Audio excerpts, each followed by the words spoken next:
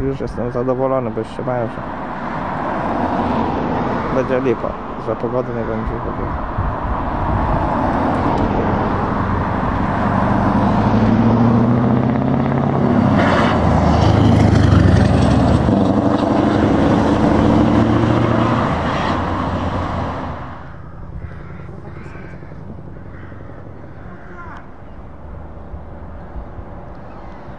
O, traktor jedzie, uważaj, nie się patrzysz.